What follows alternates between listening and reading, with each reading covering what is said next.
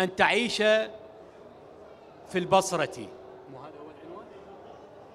يبدو العنوان أقرب إلى الحلم منه إلى الواقع.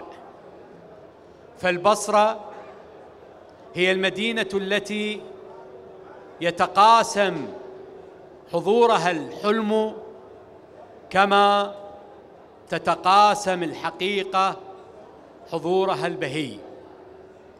ولكن المتحقق الواقعي لمدينة البصرة غير ذلك. فالمدينة التي تعد واحدة من أغنى مدن العالم في الثروة البشرية والثروات الطبيعية تشكل اليوم مأزقا أساسيا من مآزق العراق. إنها العراق المصغر الذي يعيش غضبا موسميا. هو الغضب الصيفي. ففي كل صيف للبصرة قيامة وهي القيامة المتكررة التي تعمل على أن تعيد الحياة للمدينة وتعيد الحياة للإنسان من أجل صنع مستقبل أبنائنا. نفتح أفق البصرة لنسمع من أبنائها قولا عنها. فنحن في طريقنا إلى أربيل للمشاركة في معرض الكتاب كان واحدا من أهدافنا هو أن نتنعم بالماء الحلو في أربيل.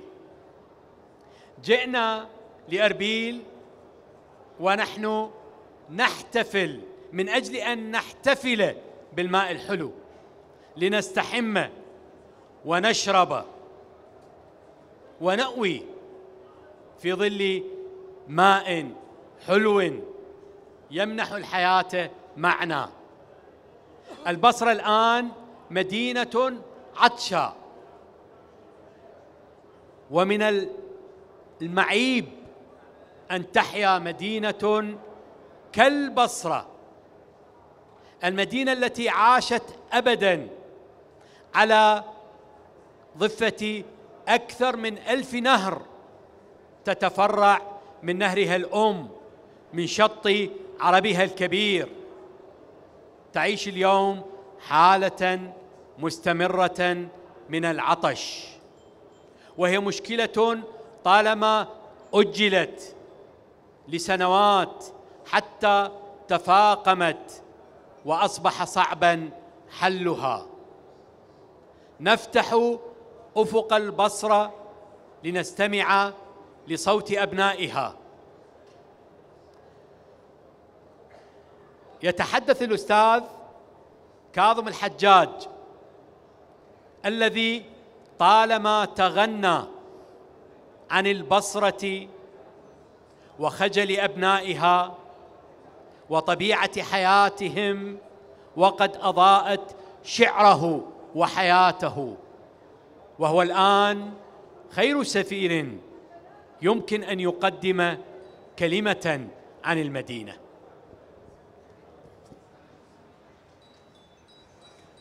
السلام عليكم وشكرا لحضوركم الكريم.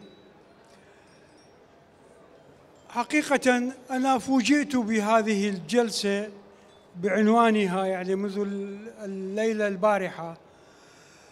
آه لكن أنا قلت كل ما يجب أن يقال عن مدينة البصرة شعرا ولم أترك أي تفصيل من تفصيلات الحياة في البصرة شعرا. أنا مضطر الآن أن ربما قد أكرر ما قلته أو بعض أو أكثر ما مما قلته في شعري لكن اولا سوف أبدأ من العنوان أن تعيش في البصرة. وأقول كلاما خطيرا نحن أعني جيلنا عشنا في البصرة. لكن ماذا بشأن أبنائنا وأحفادنا؟ وهذا هو السؤال الموجه للدولة العراقية الخفية لحد الآن. آه، نحن عشنا سافرنا آه، شاهدنا أفضل الأفلام السينمائية سافرنا إلى أجمل البلدان قرأنا أفضل الكتب. لكن أبناءنا وأحفادنا لن يقرأوا أي كتاب ولن يشاهدوا أي فيلم سينمائي ولن يسافروا إلى أي بلد إلا بالهجرة. وهذه مأساة الأجيال التي سوف تأتي في البصرة وفي العراق بشكل عام. فمأساتنا إذن هي أن ما سيحدث بعد سنين هو مسؤولية هذه الدولة التي لها خمسة عشر عاما وهي تتأسس كل عام من جديد. السؤال الخطر هو متى تستقر هذه الدولة لكي يطمئن الإنسان العراقي والبصري؟ إذا كان حوار عن السؤال عن البصرة ليطمئن على مستقبله على الأقل. هذا سؤال متروك لنا جميعا. شعبا ومثقفين وقبل ذلك من هم أخذوا السلطة باستحقاق أو بغيره. هذا جواب السؤال الأول. شكراً. يأخذنا الأستاذ كاظم الحجاج لمستقبل المدينة. في اللحظة التي نعمل على فهم الحاضر فيها من أجل تبين الخلل الذي أوقعنا بقسوة متكررة ندفع ثمنها ارواحا غالية كل عام. البصرة اليوم مدينة مفترضة مدينة خيالية أكثر منها مدينة واقعية. فالمدينة الواقعية إنما تتأسس على ركائز مدنية قادرة على النهوض بها. ولكن الحقيقة غياب هذه الركائز أدى إلى غياب المدينة أدى إلى فورة مستمرة كل عام. بما يمكن أن نسميه بالغضب الموسمي. عن هذا الغضب وعن فعل الثقافة اليوم يحدثنا الناشر والمكتبي الأستاذ فارس الكامل. مساء الخير على الجميع. أشكر حضوركم جميعا. آه، بالحقيقة يعني بعد آه، يعني عمري هسه أنا 45 سنة أنا بديت آه، بالرابع ابتدائي مع الحرب الحرب العراقية الإيرانية لحد الآن أنا في حالة حرب صراحة يعني. فبعد هذه التجربة مع الحروب ومع مدينتي البصرة تحديدا واللي خاضتها مجموعة حروب يعني بالنيابة أو أو يعني على تماس مباشر مع حدود الدول الجوار اللي يعني خضنا معاهم الحرب. توصلت القناعة إنه الحياة يعني كل حياتي هي عبارة عن مشروع فردي. يعني أنا طول هذه السنين كنت أكيف حياتي ويا ظروف مدينتي. فخلقت عالمي الخاص اللي هو يعني مفترض وسحري ويعني خيالي. وكنت يعني مرتبط بهذه المدينة. حتى خلال سفرات يعني هجرتي عنها سواء سكني في بغداد مدة طويلة أو هجرتي خارج العراق. بقت هذه المدينة تمثل لي شيء يعني يعني أح- أحاول أحقق أحلامي من خلالها. وفعلا اختاريت لحظة سيئة قد تكون وهي تقريبا ما بعد الحرب الطائفية في العراق إني أعود للمدينة وأحقق فد شيء لها هذا صار بافتتاح شارع الفراهيدي اللي هو الشقيق الأصغر. الشارع المتنبي. من أنا ب- يعني من هذه اللحظة بدا حلم حلم جديد للمدينة. أنا صنعته بدون أي مقومات. كنت آه، أسترجع يعني خبرتي بشارع المتنبي والكتب وكذا. حطيت كل خبرتي هذه بمدينتي. فيعني المدينة البصرة أعتقد هي الوحيدة اللي تقدر تحقق أحلامنا. فبديت بدار نشر كونتها آه، بالبصرة بجهد فردي يعني. مع المدينة هذه الخربه اللي تشوفوها أنتم أنا أعتبرها أجمل مدينة يعني يعني قد أتخيلها يعني. آه، أنا يعني آه، أشوف إنه يمكن مع كل كتابة نشرة ممكن تموت عشر نخلات بنفس اللحظة يعني. فعندي ذكريات مع هذه المدينة يعني ما أقدر أوصفها شلون دكتور. وأنت حاضر على تجربتي يعني مثلا. يعني إحنا مثلا أنا والدكتور عندنا تجربة إنه مثلا عندنا بشارع الفراهيدي عندنا مشكلة قد تكون من أبسط متطلبات الحياة اللي هي وجود حمام في شارع الفراهيدي. يعني تخيلوا إحنا عندنا طباعة كتاب المراحيض من أجل هذه الأزمة يعني. آه، بعد ما أدري شو على العموم آه، المدينة هذه البصرة هي ولادة يعني ما ما تموت ما أعتقد تموت رغم كل الظروف. وإحنا ممكن صح جينا أنا واليوم نحكي أنا والدكتور إنه جينا على مود نتمتع بالماء الحلو مثلا. تخيلوا هذا المطلب البسيط اللي هو يعني أي واحد يقدر يحصل عليه المفروض يعني حق طبيعي يعني. فعندي تجارب يعني قد تكون هي حكاية يعني من حكايا حياتي يعني. عندي كان صديق مصري آه، بدا بداية حياته اجى للعراق. آه، هو طبيب وصيدلاني استمر 30 سنة بهذه الحياة بالعراق تزوج من عراقية. آه، تعرفت عليه وربطتني علاقة صداقة بي. فديوم بلحظة صفاء قاعدين أنا وياه نسولف. هو يعني صارت عنده أحواله زينة وكذا و- وبنى أسرة جميلة وناجح بعمله. في لحظة صفاء قال لي فارس أنا هذه كلها ما لها طعم. آه، قلت له شلون آه، أستاذ؟ قال لي أنا نجاحي بعيون أحبائي. يعني أنا نجاحي كله بعيون بعيون أهلي في مصر. فأنا بهذه اللحظة كلش يعني بقت بالذاكرة. فأنا سافرت خارج العراق وحققت يعني نجاح في دولة شقيقة. ولكن ما ما لقيت يعني هذا نجاحي بعيون أحبائي. فأعتقد أنا يعني عودتي للبصرة وتأسيسي لدار النشر وتأسيسي للمكتبة وخدمة الكتاب في مدينتي ونشر لكتابها يعني. هي هذه لحظة فرحي الحقيقي بعيون أحبائي. وأشكركم مبدئيا هذا المدخل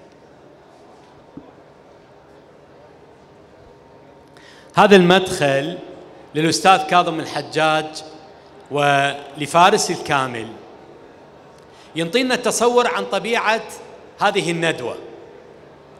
فالأستاذ كاظم الحجاج مشروع متحقق في الثقافة العراقية منذ السبعينيات. فضلا عن دوره معلما حاضرا فاعلا في مدينة البصرة منذ ما قبل السبعينيات. وفارس الكامل بوصفه مشروعا راهنا يعمل على أن يحقق ذاته وفي تحقيق ذاته يسعى لأن يخلق صورة جديدة لمدينته. من هذا التصور نرجع للاستاذ كاظم الحجاج. فنساله فكرة الخوف من مستقبل المدينة أو الخوف على مستقبل مدينة البصرة. هل يشكل غياب المؤسسة بمجمل أشكالها بمختلف أشكالها؟ عنصرا فاعلا من عناصره؟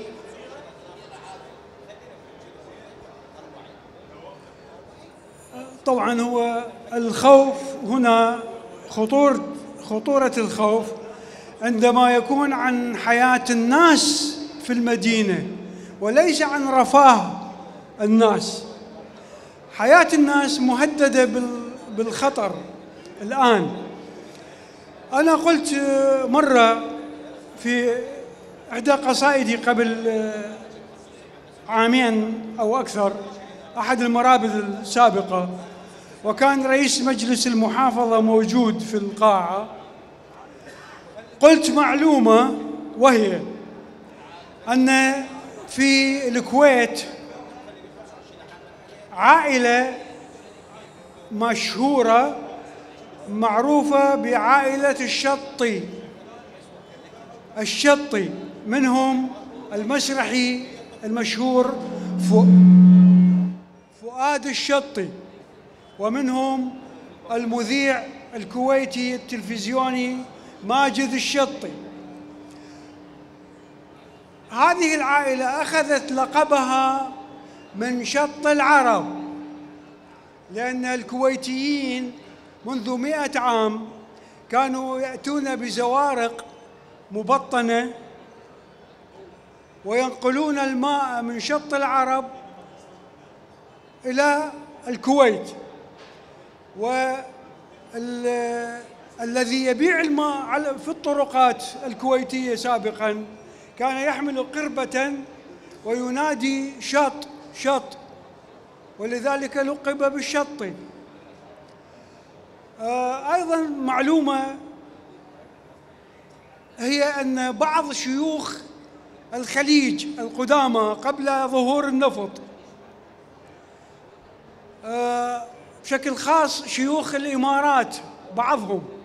قبل أن تتوحد الإمارات كان كل واحد منهم يرسل دورق فخاري مع السفن القادمة إلى البصرة واسمه على هذا الدورق لكي يعودوا إليه بماء من شط العرب. هذا الماء خاص لضيوفه يصنع منه القهوة للضيوف الخاصين من ماء شط العرب. هذه عندما تكون التحدي هو في حياة الإنسان الذي يعيش العراق كله من سوائله التحتية أعني النفط وهو لا يملك ماء. يعني المشكلة آه، أشبه بالكوميديا. أنا قلت أن العرب والمسلمون سابقا كانوا آه، يقرؤون صلاة الاستسقاء يصلون صلاة الاستسقاء يطلبون المطر. إذا لم ينزل المطر فهي المسألة محرجة. آه، في البصرة أقول لكم معلومة. هي أكثر خطورة. ماء البصرة أزمة ماء البصرة هي ليست من إيران وتركيا فقط وليست من احتباس المطر لخمس سنين بل هي أيضا من تركيا من إيران من الناصرية ومن العمارة. هذه المحافظات أصبحت دول. مستقلة لها مجالس ولها حكومات ولها ميليشيات ولها أغنياؤها ومتنفذوها. وهؤلاء لهم مزارع أسماك ولهم مزارع للخضروات وإلى آخرها. ويحبسون تقريبا ثلث ماء البصرة آه، يديرونه إلى مزارعهم في الناصرية وفي العمارة. إضافة إلى احتباس ماء المطر واحتباس آه، يعني آه، سدود الجيران هذه المشكلة المخيفة يعني الخطورة على المستقبل. وليس لنا دولة مركزية قوية تستطيع أن تخضع هؤلاء المحافظين أو أصحاب مجالس المحافظات لأن يتركوا الماء يصل إلى هذه المدينة. هذا حديث هذا تشخيص لن نسمعه خارج هذه القاعة خارج هذا المكان. حديث يضم صوت التجربة للإنسان. أكثر منه حديث اقتصادي اجتماعي سياسي. في البصرة دولتان. دولة نهارية هي دولة السلطة. ودولة مسائية بكل أسف هي دولة العشيرة التي تتقاتل فتقطع طريقا رئيسا أو تقطع شريانا اساسيا للسقي أو تقطع سير مؤسسة مثل مستشفى. في ضوء فكرة الدولتين نسأل فارس الكامل كيف بامكاني مشروع ثقافي صغير مثل دار المعقدين للنشر أن يحقق مفهوم المدينة أن يعيد إنتاج مفهوم المدينة في ظل قوة العشيرة وتمكنها وحضور كل مفاهيم كل تمثلات ما قبل الدولة. شكرا دكتور. بالحقيقة يعني أنا يعني كل يوم أقدح شرارة في عقل شاب ما من خلال تعثره في مكتبتنا مثلا. أعرض عليه كتاب قد يغير حياة هذا الشخص. أه واحدة من تجاربي بشارع الفراهيدي. أه فد مرة اجوا شباب اثنين فيعني ما انتبهت عليهم. واحد منهم سرق كتاب لبرتراند رسل الفيلسوف الإنجليزي. فأنا بصراحة يعني من رجعت للبيت كتبت post طويل بالفيسبوك شافوه أصدقائي. إنه أنا فرحت لهذه الشرارة التي ستقدح في عقل هذا الشاب يعني. ابدا ما زعلت إنه سرق مني هذا الكتاب. ولكن أنا متأكد مثل هذه الكتب قد تغير أفراد ومن ثم عائلات. قد ينشأ تنشئة سليمة هذا الشاب اللي يقرأ برتراند رسل مثلا. فأنا أمشي موازي بين الدولتين دولة النهار والليل. أصنع دولتي الخاصة بطريقتي. صحيح إحنا يعني نسمتنا صغيرة ولكن تأثيرها أعتقد بعد فترة يكون كبير يعني. فدوري يعني البسيط اللي أنا أحبه وأمارسه كل يوم لمدة 12 ساعة هو من خلال قدح هذه الشرارات في عقول هؤلاء الشباب. يجي ما يعرف إيش يريد ما يعرف إيش يقرأ يقرأ قراءات سطحية. أدليه على أوائل الخيوط الأشياء اللي ممكن تغير حياته. وامنا بهؤلاء الشباب إحنا بالحقيقة يعني وما نيأس يعني هو مجرد أن يخلق عالمه المستقل اقتصاديا ويخلق أفكاره الخاصة راح يكون أسرة سليمة بعيدا عن أي انتماء عشائري أو حزبي أو ميليشياوي. ربما القيمة الأساسية والفاعلة لمثل هذه الندوات هي بما تنتجه من حوار بينكم وبين الضيوف. فالآن نفتح باب الحوار. لعلنا ننتقل بالفكرة إلى مجال أوسع. السلام عليكم. تحية خاصة إلى الأساتذة والأدباء في البصرة البارزين وهم أيضا الحريصين على المجتمع البصري. أنا عبد السيد مهدي الحسيني مولود في الحلة ومن أهالي الحلة لكن لي حياة خاصة في البصرة وأعرف البصرة عن قريب. فأساتذتنا على الرغم من نشاطهم البارز لكن أيضا نحمل عتب على البصريين لأن الشخص اللي ما يخجل منك المفروض ما تخجل. فهم البقرة الحلوب لكل الشعوب وهم آه، الحياة البصرية والبصريين بالذات يعرفون أنهم أي إنسان من أي بقعة من الأرض يعيش كأنه عايش في بلده.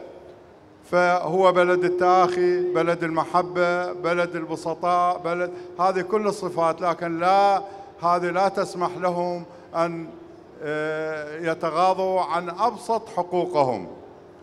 ف أجيب مثل بسيط أنه المظاهرات ساحة 14 تموز أو ساحة الحرية الأشخاص اللي يطلعون بها أشخاص معدودين من الملايين اللي موجودين بالبصرة والناس تنهب بأموالهم وثرواتهم. ومثل بسيط قرب آه، شركة النفط الوطنية يمر نهر يسمونه في البصرة معروف النهر الخايس نتيجة القاذورات اللي تشمر به ولا حد يدير لهم بال به أيضا آه هذا النهر يصب في نهر العشار وإحنا نعرف الأستاذ علي العضب اللي كتب آه قصيدة يا أبو بلم عشاري. هذا النهر أيضا شوهوه وانتهى وكثير كثير من المعاصي التي آه، تمر بأهالي البصرة لكنهم آه، شبه في سبات ما عدا بعض الأصوات هنا وهناك وهي لا آه، تجد آذان صاغية لهم لدى الناس التي فقدت ضمائرها وشكرا. شكرا لك. تفضل دكتور عمار. أهلا بالأساتذة الكرام وأبتدئ بأستاذنا الشاعر الكبير الأستاذ كاظم الحجاج أخي وصديقي ورفيق عمري دكتور لؤي الأستاذ فارس كانت فرصة طيبة للتعارف.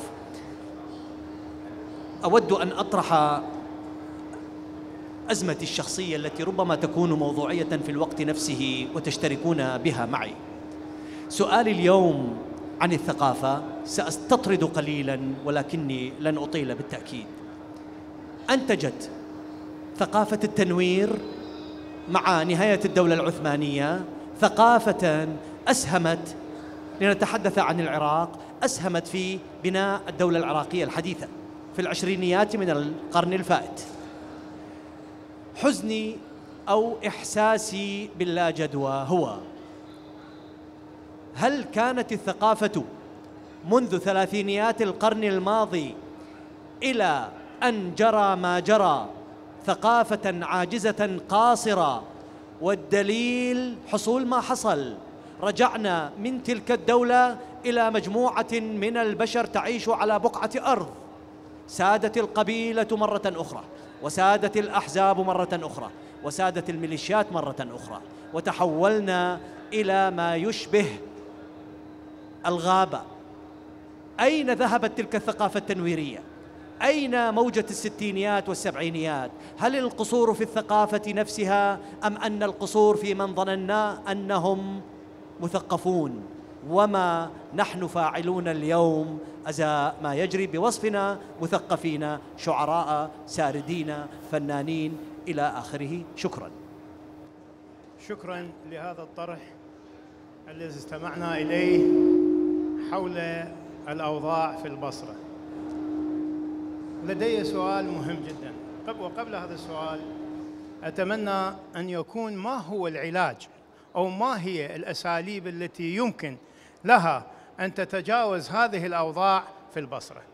السؤال هو هل يقع تقع المسؤولية فقط على الميليشيات والدولة أم أن الشعب البصري هو مسؤول بشكل أكبر مما وقع عليه لأن ما حصل في البصرة لمدة 15 عام من قبل الشعب البصري جاء بقيادات دينية متطرفة حتى هذه اللحظة. وآخرها كان ما ما سمعناه من فوز قائمة الفتح بنسبة عالية جدا في محافظة البصرة. هذه المشكلة هي هنا المشكلة أستاذ. لماذا يلجأ البصري إلى هذه القوائم في وقت سابق كان البصري يحظى بثقافة وإدراك ووعي؟ من هو المسؤول عن وصول المجتمع البصري إلى هذه الحالة؟ هذه الحالة يجب أن ينتبه إليها وأن يتحمل الشعب البصري مسؤولية ما يحصل عليه الآن لأنه هو الذي جاء بهذه المجموعات وسلطها عليه. وشكرا. ثلاث جوانب للأسئلة. التظاهرات وأين ثقافة التنوير أو أين حصيلة ثقافة التنوير؟ والسؤال الثالث ما علاج الأوضاع في البصرة؟ فنسمع تصور كل من الأستاذين ونعطي المجال أولا لأستاذنا كاظم الحجاج. طبعا إذا اردنا مسؤولية أهل البصرة أنا سأقول لك أستاذ أن الإنسان العراقي بشكل عام قد انتكس وتراجع آه، منذ عشرين أو ثلاثين عاما. ثمان سنوات حرب كفيلة بأن تدمر أكبر بلد بالعالم. و13 سنة حصار. كفيلة بأن تجعل آه، أي إنسان يهتز يعني يفقد حتى مكوناته الإنسانية. آه، هذه المقدمات التي أعطت هذه النتائج. نعم. أنا أحيانا أقول حتى هؤلاء الذين جاءونا المتدينون أو جماعة الإسلام السياسي هؤلاء وجدوا الأرضية آه، ممهدة لهم. وجدوا علما مكتوب عليه الله أكبر. وجدوا حملة إيمانية قبلهم.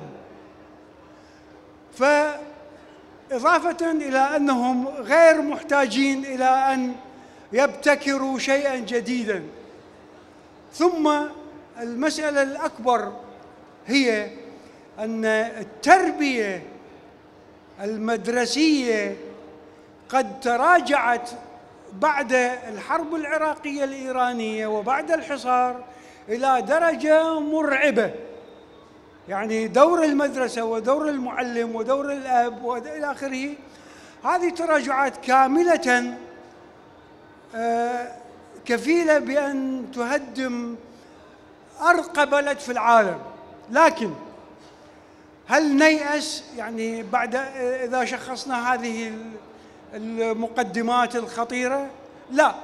لكن هل بأيدينا شيء نحن أعني المثقفين والمتنورين والعلمانيين وإلى آخره.